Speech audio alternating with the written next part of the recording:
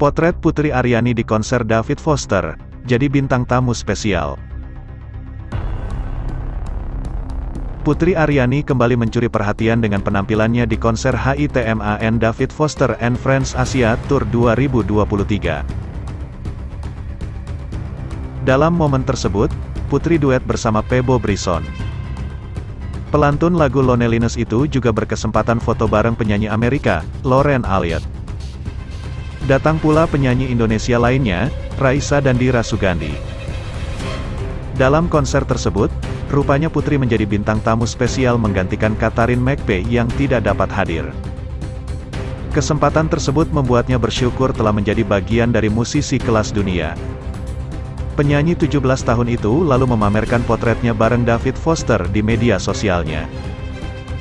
Liputan6.com garis miring ik garis miring at Aryaninisma Putri, kurung tutup. Putri tampil bersama Pebo Brison dalam konser HITMAN David Foster and Friends Asia Tour 2023 tersebut. Perempuan kelahiran tanggal 31 Desember tahun 2005 itu menyanyikan Beauty and the Beast. Lagu yang dipopulerkan oleh Bebo Brison dan Celine Dion untuk menjadi soundtrack film animasi Disney berjudul sama pada era awal 1990-an. Liputan6.com garis miring ik garis miring at Aryani Nisma Putri.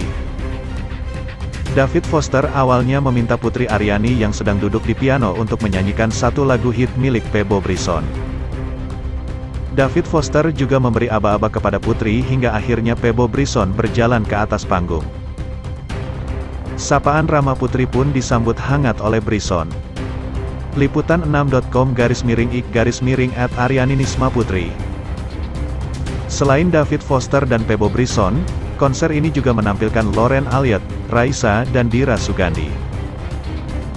Penyanyi yang dikenal setelah ikut audisi America's Got Talent 2023 itu pun tidak melewatkan kesempatan untuk berfoto bareng beberapa penampil yang mengisi konser penyanyi asal Amerika Serikat itu. Liputan6.com garis miring ik garis miring at Aryaninisma Putri, kurung tutup. Indonesia. Bicara soal Simon Cowell, Putri Aryani. Golden Buzzer, dia mengubah hidupku. Berhasil masuk babak final America's Got Talent, AGT, 2023. Penyanyi Putri Aryani tak melupakan peran besar dari Simon Cowell, salah satu juri AGT.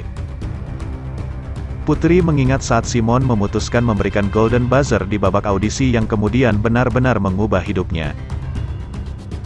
Dia mendukung saya, kata Putri, dikutip dari NBC Insider. Dan karena Golden Buzzer dia, hidup saya berubah dengan indahnya, lanjut Putri.